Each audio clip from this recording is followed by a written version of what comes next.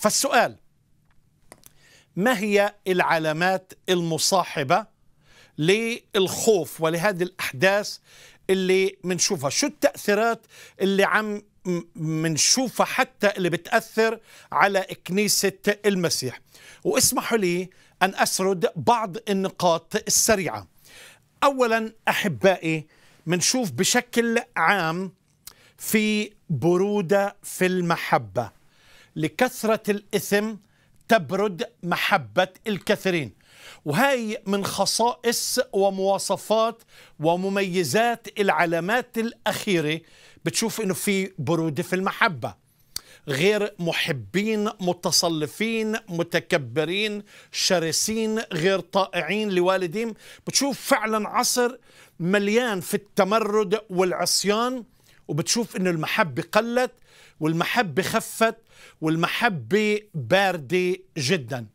وهذا الوباء الخطير يعني في وباء أخطر لما المحبة فعلا بتبرد في حياة الكثيرين بصير عندهم الإهمال واللامبالاة.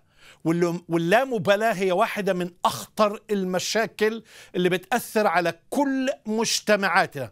الإهمال إذا كان في إهمال فإذا ولا مبالاة كل المجتمع بيخرب.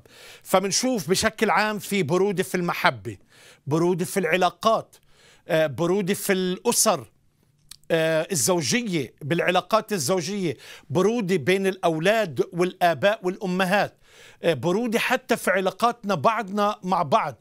ودايما منذكر بعضنا بتتذكر من زمان لما ما كان عندنا هذا التعصب ولما كانت المحبة وكل الدنيا ماشية وكل الأمور عم بتصير بشكل حلو.